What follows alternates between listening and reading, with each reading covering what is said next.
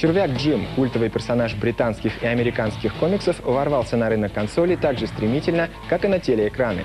Было это, если помните, в середине 90-х. Специально для создателей Джима компании Shiny, ну и само собой для армии фанатов этого персонажа, компания Sega выпустила в свет серию игр об этом суперчервяке.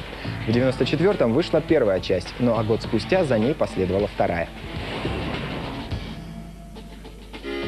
Скажите, как вы относитесь к червям? Что они для вас? Маленькие существа, вытянутые розовые тельца которых бороздят бескрайние просторы плодородных слоев почвы, приманка, идущая на крюк рыболова, или, быть может, веселые компьютерные чудаки, которые отняли у вас столько времени?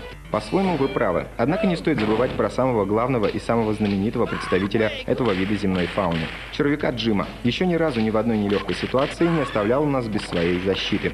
Надев биокостюм, Джим превращается в великодушного друга хороших и принципиального врага плохих. Вторая часть приключений суперкрутого земляного червя увидела свет в 95-м и стала одним из последних ярких хитов, вышедших для платформы Mega Drive 2. Великолепная рисованная графика, совершенно безумный дизайн уровней, зарождающаяся интерактивность. Это то, за что игру любили тогда, за что ее любят и сейчас. Если вы не прочь посмаковать винтажные двухмерные произведения игрового искусства минувших эпох, обязательно обратите внимание и на эту игру.